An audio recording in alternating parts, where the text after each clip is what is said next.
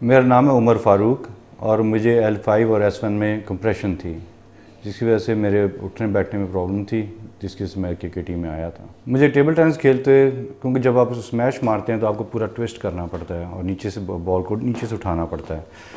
वो खेलते हुए मुझे दर्द स्टार्ट हुई थी और फिर मैं बिल्कुल खेलना छोड़ दिया था। क्रिकेटी के बारे में मेरे दोस्त ने मुझे बताया था कि उसने भी ट्रीटमेंट करवाया था और उसके बाद से वो ठीक हो गया था।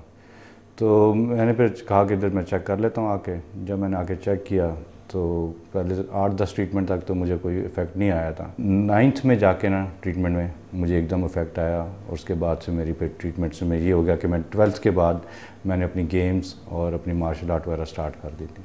पहले तो मैं बिल्कुल ड्राइविंग कर सकता था, ना मैं ज़्यादा देर बैठ सकता था, ना मैं ज़्यादा देर खड़ा हो सकता था। मैं लेटता ही पोजीशन में बेहतर रहता था।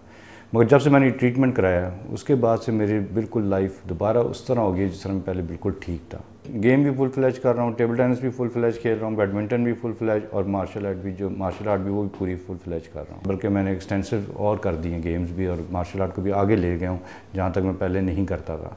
और मैं क्योंकि ताकि मैं चाहता था कि इसको जो ट्रीटमेंट कराया, इसको पूरा चेक करूँ तो मैं तो बहुत सेटिस्फाइड हूँ।